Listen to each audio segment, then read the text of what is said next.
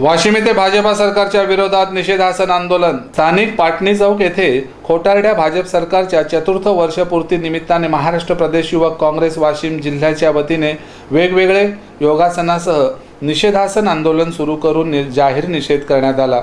यावेळी महाराष्ट्र युवक काँग्रेसचे जिल्हाध्यक्ष बाबूराव शिंदे यांच्या नेतृत्वाखाली वाशिम येथे सदर आंदोलन करण्यात आलं. या आंदोलनाला शेकडो युवक काँग्रेसचे युवा कार्यकर्ते उपस्थित होते. रत्नागिरी बेस्ट वार्ताकरिता विनोद तायडे वाशिम.